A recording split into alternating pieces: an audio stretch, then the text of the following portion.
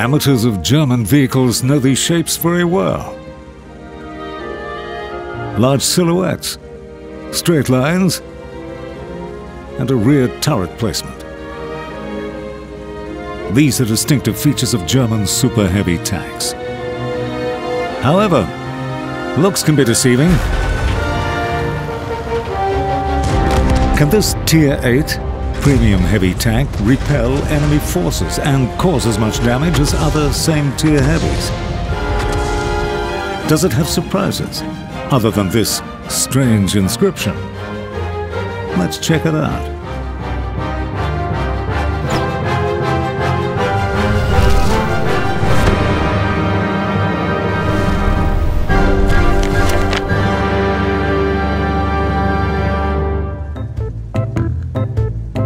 The first question about any heavy tank is, does it have good armor?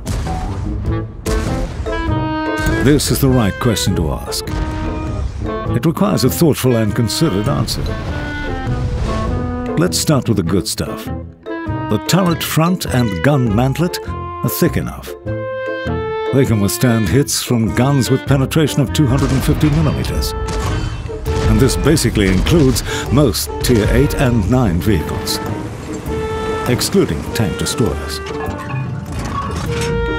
The science doesn't know for sure whether its frontal armor is related to its gun mantlet. But the turret is great, and that's a fact.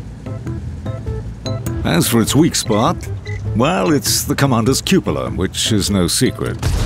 Still, you can cover it by raising your gun or moving out to the right side of cover. Enemies will have trouble hitting it, even at medium distance. And, well, after several failures, the enemies will try to hit the VK's hull. In this position, the effective armor of the lower glacis plate is over 200 millimeters. The upper glacis plate has more than 260 millimeters of effective armor. As for the junction of armor plates, the armoring here reaches 270 millimeters. Besides this, if you angle the hull front, the values will be even more impressive. Keep in mind, we're talking about a Tier 8 tank. Even Tier 10 vehicles might not penetrate its armor in some cases. The hull armoring behind the tracks is 100 millimeters, which is pretty good. When positioned at ricochet angles, the VK can deflect shells even from the most formidable opponents. Together with a sturdy turret, the vehicle armoring gives you confidence. You just need to get into position and knock off shells. But it's not that simple. The vehicle has weak spots. Tankers should never forget about them. For example, when the VK-7501 is cresting a hill, its lower glacis plate becomes vulnerable to enemy hits as its armor drops down to 160 millimeters. Even some Tier 6 vehicles can penetrate its armor at this angle. On the other hand, if an enemy takes an elevated position, they can penetrate your hull roof and upper glacis plate. That's why this German tank should avoid clinching enemies with good elevation depression angles. Basically, the armoring's a bit tricky. On the one hand, it's great. On the other, hmm, there are some nuances.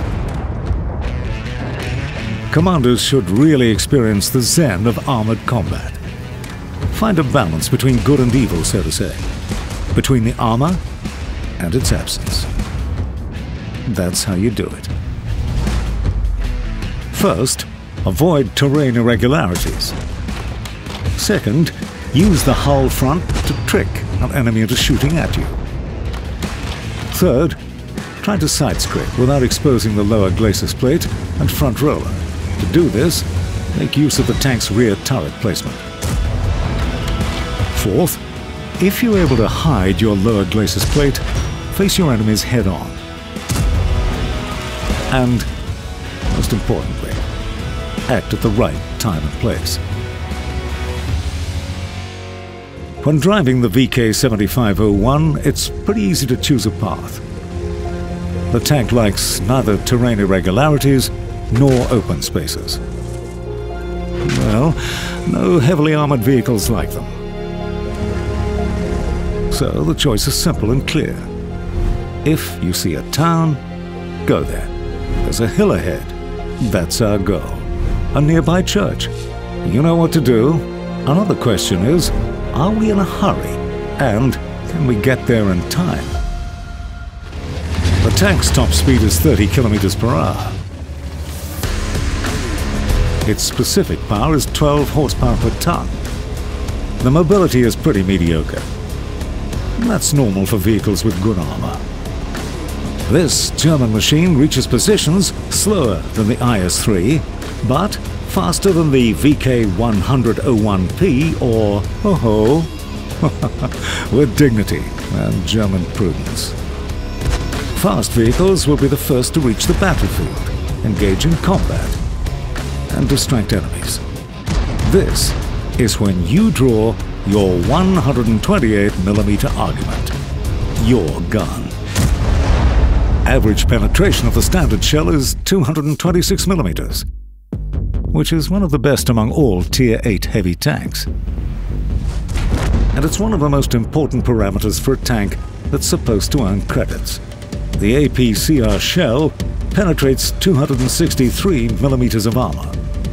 The gun accuracy is 0.39, but you can easily improve it to 0.34. Beside this, your aiming time can be decreased to 2.4 seconds. It's pretty good for a tank that prefers urban encounters. Firing this gun is fantastic. And it gets even better when you see the results.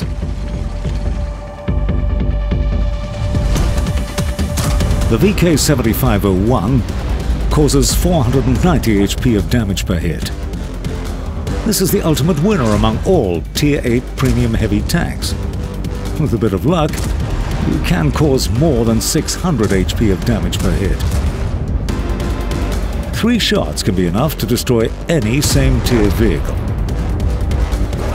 No other Tier 8 heavies can boast the same. This is the key feature of the vehicle. Basically, there are two types of Tier 8 heavy tanks. They either have good alpha damage, but in the reticle, it looks somehow like that, or they have good accuracy, but damage per hit isn't impressive at all. The VK, however, features both good damage per hit and an accurate gun, which makes it super mean. Nevertheless, the low rate of fire and damage per minute balance the tank's advantages. But ask yourself again, are you really in a hurry?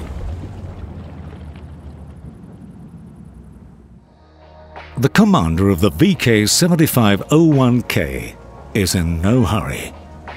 He chooses his lane deliberately and moves to an SPG-proof position. And he does so with dignity. Upon reaching the battlefield, he checks the battle situation and picks his target. If the target might have difficulties penetrating your armor, face it head on, deflect shells, and hit it in return. This hit will be painful, all right.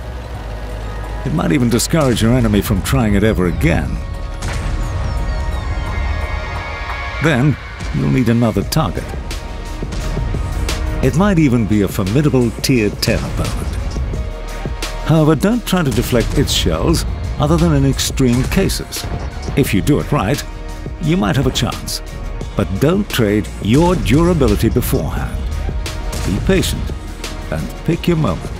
After they fire a shot, make your move. Even Tier 10 monsters won't like it. In any case, be sure to stick to your allies and never play alone. Your team won't allow opponents to get close. The super heavy VK7501K doesn't like close range encounters. It prefers fighting at medium distances where it can push back any enemy.